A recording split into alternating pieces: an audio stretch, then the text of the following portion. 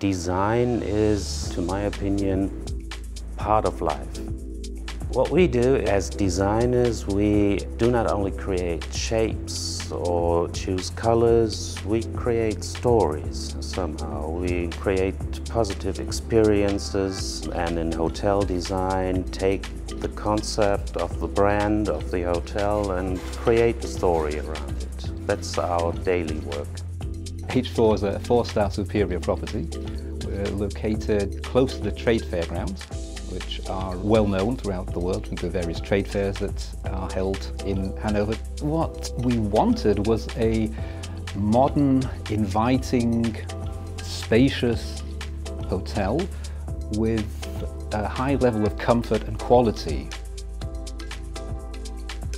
our intention was to stay to emphasize the location, not to make uniform hotel, preserve some of the old things, but spin a story around it, make the guests feel comfortable when they return from the fairs. It was interesting how it all got started because there's a well-known designer magazine in the UK called Sleeper magazine and in fact one of the Brintons uh, design collections called Inspirations was uh, pictured in an advertisement in that magazine and that was really the inspiration for Joy Design. Brintons has always been very reliable, very quick regarding of samples and we chose very carefully those carpets out of your collections and made sure it was a good mix of these technical things and other patterns, more natural things. The whole installation began with the restaurant fine dining and there we used two custom collections.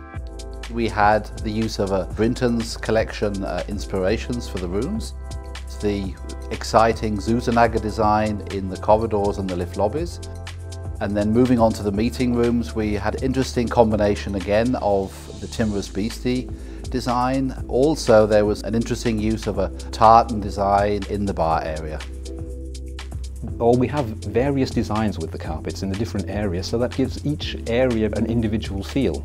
I think that is something that guests appreciate as well, that they have something different to look at, not the same standard layout and design in every section of the hotel where they are. I would have to sum up the carpet in one word. By the way, one word is a bit challenging. I would say it's natural comfort. Because all those people who return from the fairs in the evening, what would they appreciate? You normally appreciate very much a comfortable walking because you walk on a hard floor the whole day, your feet are tired, you want the comfort of walking in your hotel.